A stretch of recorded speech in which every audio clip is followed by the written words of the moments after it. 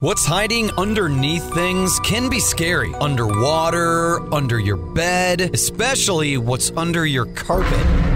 Except when you get new carpet from Carpet One Floor and Home. After tearing up your old carpet, they'll vacuum and apply Healthinex antimicrobial to your subfloor, disinfecting and killing mold, mildew, and any remaining general awfulness. Carpet One Floor and Home goes the extra mile to protect you, your family, and your home. Carpet One Floor and Home in Columbia, making your home beautiful, guaranteed.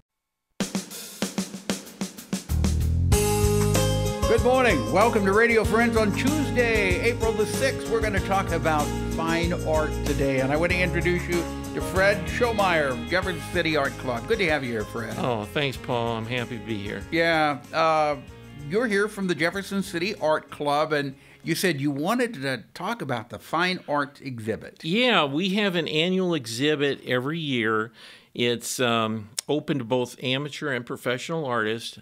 It opens uh, soon. It will be actually it opened last Friday, April second, and um, there's a whole variety of art there. There's professionals, amateurs, as I said. There's sculpture, uh, abstract art, realism. Uh, you'll see artists just beginning, starting to do work, and then we've got accomplished artists who are nationally recognized in the show. So Wow. a lot of variety. How many how many different exhibits will be available? Uh, there's actually 95 artworks in the exhibit. 95. Some of those are available for purchase. So if you're interested in buying art, Will they be clearly marked, the ones that are available for purchase? Yes, they they'll have a price on them. They'll be clear, clearly marked. So it's uh, you know if you're an art enthusiast, great place to look at some art. Where, where's your location? Uh, we are at 1203 Missouri Boulevard in Jefferson City, right on the strip, right on the main drag there. And as far as coming in now, you're practicing social distancing. Yes. Everybody must wear a mask, correct? Right, social distance. And our hours are limited due to the COVID. We are only open Thursday from 11 to 1, Friday from 11 a.m. to 5:30, and then Saturday from 10 to 1. So we're limited, but if you can get there, you know, it's a great show, a lot of variety. Yeah. How many people do you have in the uh, Jeff City Art Club? Um, I think we average, it varies. Right now, our numbers are down, I think, due to the pandemic. We're around 30 or so right now. We've gone up to 50 or 60 people at times. Interesting thing about the art club is that it's been around since 1903. So that. Yeah, so so you, you, you've uh, you've been in the water there for a yeah, while. yeah, yeah. But if people do you do you have to live in the Jefferson City No. area, or can anybody no, join? anybody can join. We have actually people uh, from outside the area, uh, Lebanon, Missouri. We have an artist from Washington, Missouri, uh, Columbia. So yeah, you don't have to live in Jeff City. I live actually outside town, and I'm a member. So uh, Okay, so if people want more information, if about the uh, fine art show, or if they want to join the art club, more information, how do they get in touch Um, with you? go just go to the Jefferson City Art Club website, and there's a registration form, an application for you to become a member. You fill it out, bring it to one of the art club meetings. Now, the last few months, our uh, meetings have all been Zoom meetings, but we are going to in-person meetings starting in April, and all the list of the schedule uh, for the art club is there on the website. Okay, go to the web uh, website. It's Jefferson City Art Club Missouri.com, and you get all the information you need. You can sign up, and you can find out about the uh, the fine arts uh, fine art show. Fred, thank you so much for coming Thanks, by. Paul. I'm happy to be here. All right, now we're going to talk about something. It's it's it's not a pleasant subject. It's child abuse, and April is Child Abuse Awareness Month, and I want to introduce you to Kelly Hill from CASA. Welcome to Radio Friends. Thanks for having me back.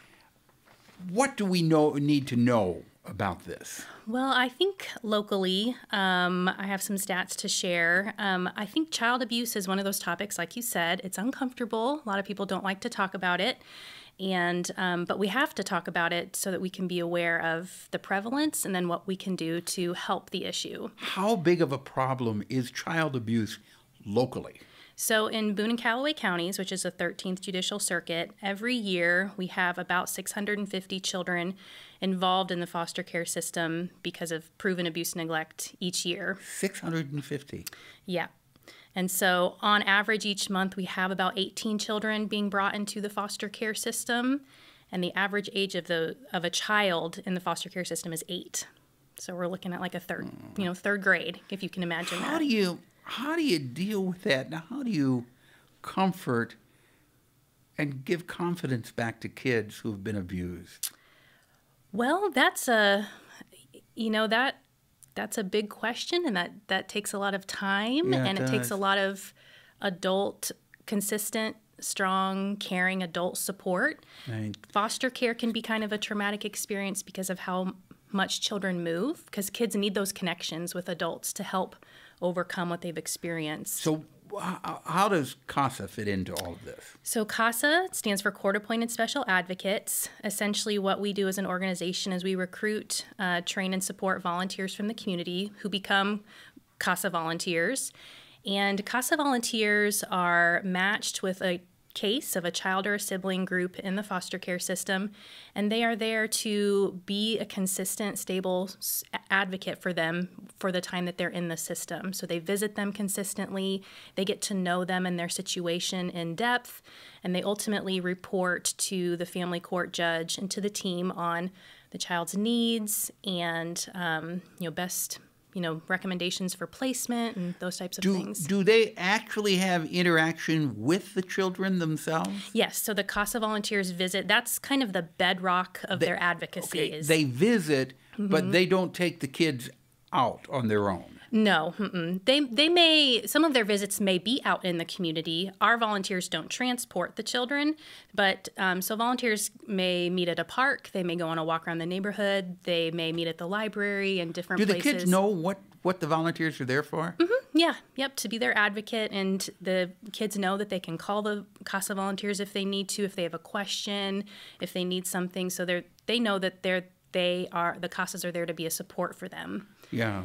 And so, What type of people are you looking for as volunteers? you know, our volunteers come from all walks of life. You have to be at least 21. We have volunteers up into their 80s. Um, the I think the most important thing, you know, besides you have to pass a background check and all those things, is you have to have a, a heart for it and you have to want to be you have to be able to commit to the and be consistent because Okay. these kids don't need more change. Right.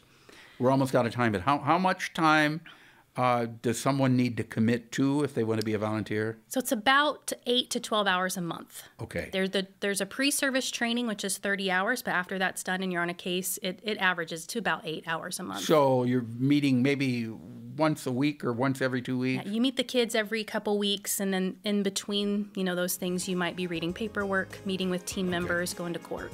All right, so it's www.home, uh, H-O-M, CASA, C-A-S-A dot org. That's it. Thank you very much, Kelly. I appreciate you coming you. by. And please come back again and keep us posted on how things are going. We will. Thank Okay? you. Something you'd like to hear or see, I'd love to hear from you. Drop me an email, pepperpmissouri.edu. And when you're out and about, please wear that mask today and smile under the mask, too. bye bye.